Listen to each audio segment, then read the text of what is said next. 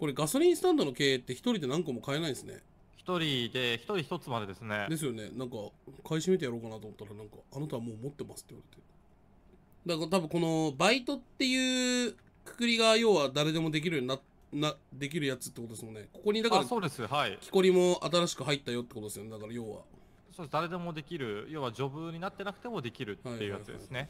まあ、趣味でやりつつ稼げるっていう感じ。え蓄能って蓄能もあんま触られてない感じですか？酪あ酪農か。酪農はですね、酪農ー はですね、あの、マップ上、うんちょっと待って。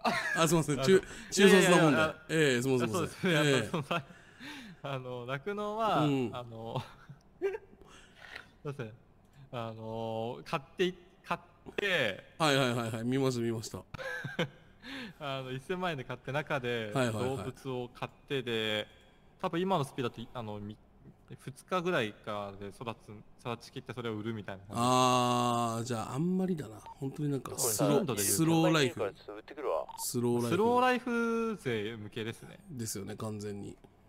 もしなんかわからない点あったらあのやり方の、はい。こうなんか記事とかも書き足すんで、はいはいわかんなかったっすわって一言言っていただければ書き足しておきます。わかりました。ありがとうございます。あはいよろしくお願いします。はい。バカにした今。